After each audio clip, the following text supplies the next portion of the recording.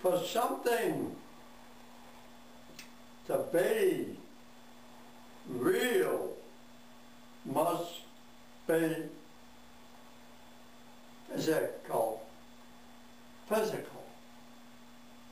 Physical. You know? This is physical. Solid. I can touch it. I can feel it. I can touch it.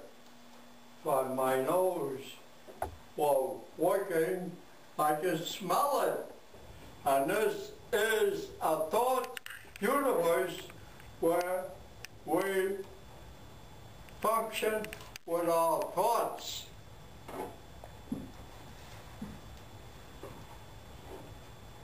So don't you see how ridiculous the whole thing is? Must always remember it. And furthermore,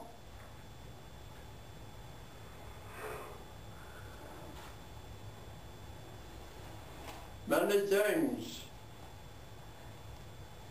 that seem to be physical are not physical. They are conceptions, perceptions, a precept, a concept. And one of them, I will give you an example. Pinocchio. Pinocchio was a concept of some man. And Pinocchio is not physical. Pinocchio is the idea that came from man. Not physical. As somebody that come down here and keep saying to me, you're concept, you're concept. No, we're not a concept. We are purely physical. But we are trying to get away from the earth, which is a sea, and get into a land, L-A-N-D, that is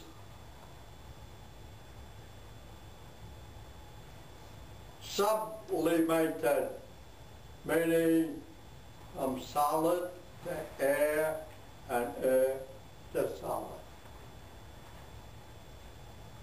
Do we have such thing? Yes, we have it in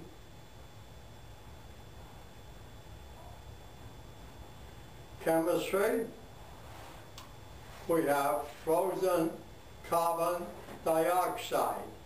Frozen carbon dioxide never turns to water. It uh, disappears as air. Now, one more thing, and this is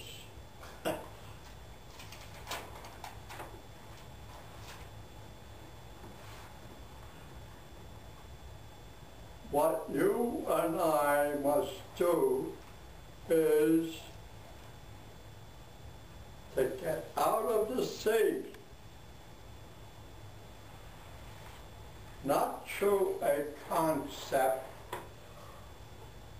not through a precept, but get out of the sea physically.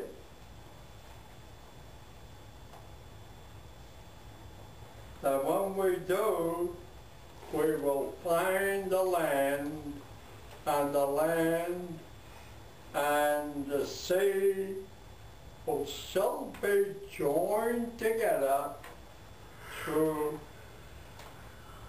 roots we will send our roots down into the sea to keep ourselves informed from where we came.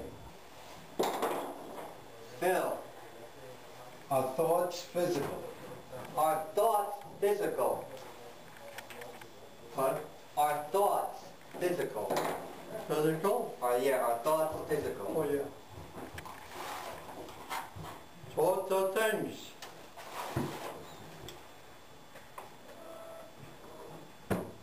And a thing, they call this a thing? Yeah.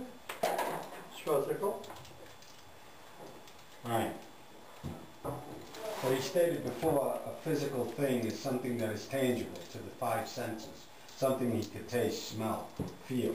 How do you taste, smell, or feel a thought?